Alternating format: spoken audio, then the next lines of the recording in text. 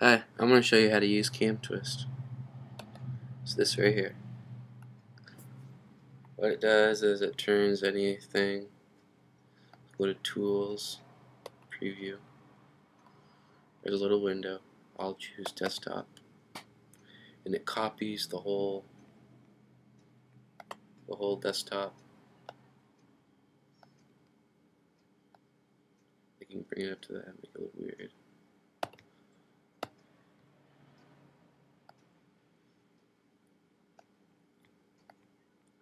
And what you can use it on, you can use it on chat roulette. Let's put Denny. But if you go, if you click down the drop down menu, click CamTwist, and then you open up CamTwist, click desktop, full undo full screen, select capture area.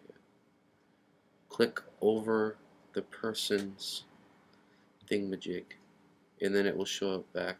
But right now chat roulette is going through some maintenance stuff so I can't do it on chat roulette. But I can do it on something else. I can go on to lobby next chat.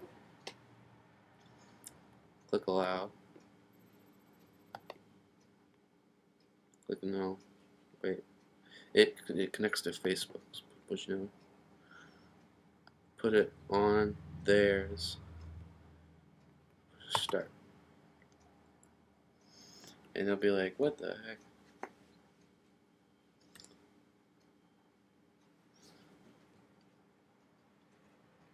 See, uh, it's a little weird.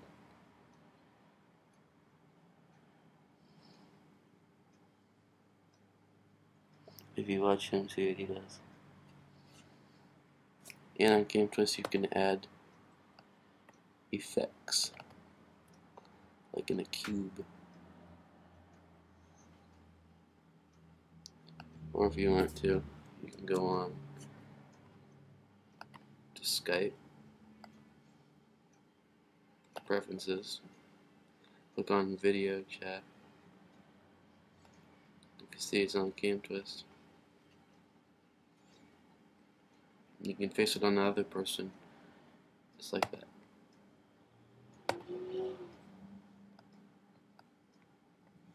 There's lots of other stuff you can do.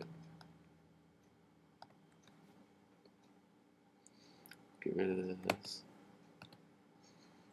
Let's do a whole stuff. Get rid of the cube. Probably the favorite thing to do is when you're on it, just click on Telestrator. And then you could draw on the other person's face or something. Yeah. There's that. It's a whole desktop. You can mess around. It's pretty cool. Okay. Comment, rate, subscribe. Look at my other videos. I still have MacBooks to give away.